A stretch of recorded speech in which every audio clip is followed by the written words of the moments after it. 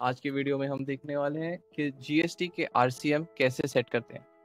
आप जीएसटी पे RCM applicable होता है, ये तो आप सभी को पता ही होगा। अगर आपको पता नहीं है तो नीचे कमेंट में लिख देना। हम जो, हम जीएसटी के आरसीएम के ऊपर अलग से एक वीडियो कर देंगे। अब जिस ट्रांजैक्शन पे आरसीएम एप्लीकेबल होता है जीएसटी में, उसे जो बुक्स में कैसे रिकॉर्ड करते हैं, वो देखेंगे। तो दो चीज़ें होती है। एक होता है परचेज के अंदर बिल्स और दूसरा होता है एक्सपेंस दोनों तरीके से आप आपके खर्चे बुक कर सकते हैं। तो बिल से के थ्रू जब आप खर्चे बुक कर रहे हो, तब आरसीएम कैसे अप्लाई करते हैं वो देखते हैं। मान लीजिए आपको मिला है किसी लॉयर का बिल तो लॉयर के बिल पे लगता है आरसीएम तो आप उस बिल को रिकॉर्ड कर रहे हैं तो आपने वेंडर सेट कर लिया लॉयर का नाम सिलेक्ट कर लिया।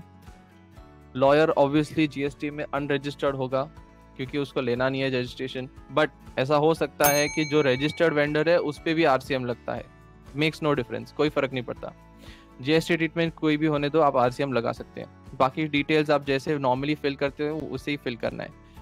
चेंज डिफरेंस जो है, वो यहाँ पे है। जो अलग चीज़ जो चीज़ करनी है, वो यहाँ पे है। अब देखो यहाँ पे लिखा हुआ है this transaction is applicable for reverse charge इसे आपको सिलेक्ट करना है। जैसे आपने इसे सिलेक्ट कर लिया, आप यहाँ पे देखिए टैक्सेस के अंदर ब्रैकेट में आ गया रिवर्स चार्ज ठीक है? इसको मैं हटा देता हूँ टिक तो ये टैक्स के अंदर से रिवर्स चार्ज निकल जाएगा। इसको अगर मैं टिक करता हूँ तो इसमें रिवर्स चार्ज आ जाता है। ठीक है? तो मान लो आपको लॉयर का बिल मिला है ट्वेंटी फाइव थाउज़ेंड का तो ये बिल नंबर में डाल देता हूँ, कोई भी एक नंबर डाल देता हूँ, ये नंबर हो गया बिल का, इसमें डेट डाल देता हूँ, आज की डेट डाल रहा हूँ, ठीक है? यहाँ पे आइटम डिस्क्रिप्शन में उसके बिल पे जो भी लिख के आया है, वो सारी डिटेल्स हमने यहाँ पे फ़ीड कर दी। अकाउंट कंसल्टेंट एक्सपेंसेस सेलेक्ट कर लिया रेट पच्चीस हज़ार। अब लॉयर को पे करना है अपने पच्चीस हज़ार, ठीक है? पच्चीस हज़ार लॉयर को पे करना है, पर उसके ऊपर का जो जीएसटी है एटीन परसेंट के हिसाब से वो गवर्नमेंट को पे करना है।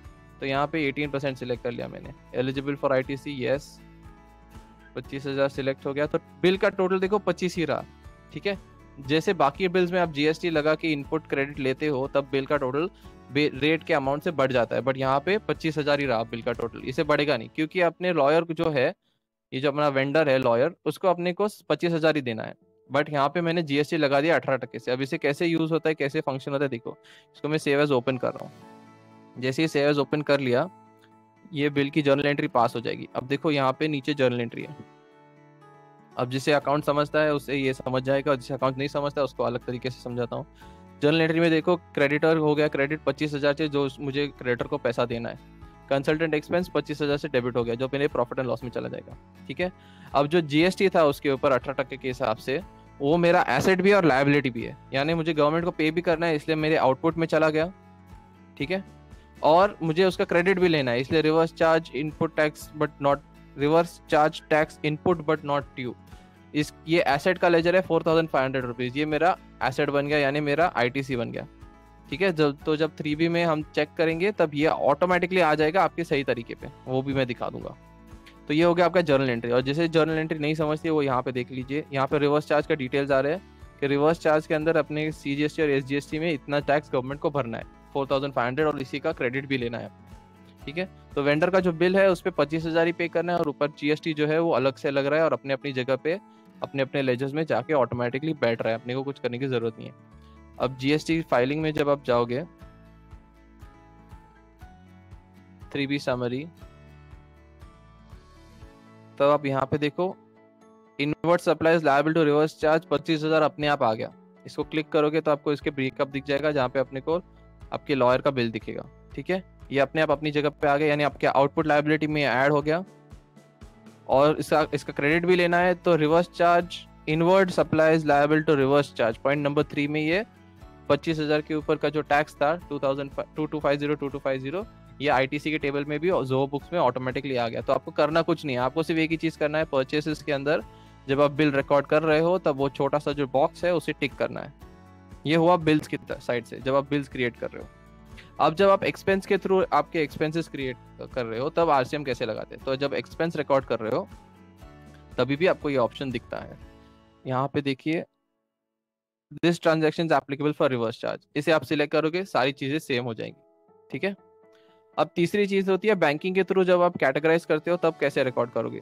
तो मान लो आपने डायरेक्टली लॉयर को पे कर दिया है, उसे बिल रिकॉर्ड नहीं करना है, आपको डायरेक्टली खर्चा बुक करना है बट आपको उसका जीएसटी क्रेडिट भी लेना है तो उसे कैसे रिकॉर्ड करोगे? तो फॉर एग्ज़ाम्पल लेते ये पच्चीस हज़ार उनतालीस रुपया जो है, ये मैंने लॉयर को पे किया है twenty five zero thirty nine ठीक है?